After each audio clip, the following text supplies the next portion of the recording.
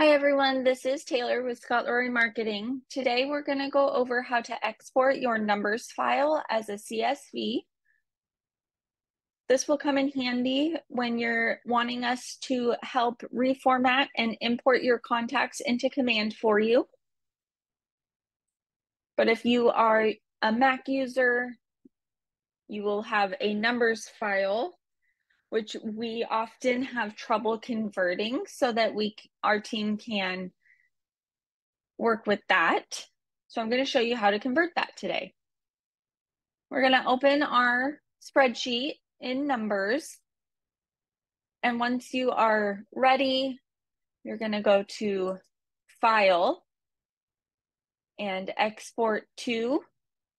This is going to give you several options but we want the CSV file. We're going to hit next. And here we recommend just putting your name on it. Even though you're going to email it to us, this just helps ensure that your name is associated with the spreadsheet. And then export. And now we have two different versions of our contacts. So you would just open up an email and compose an email to support at scottleroymarketing.com. You'd attach the CSV file, and it might be hard to see, but there is a little label right here that says CSV.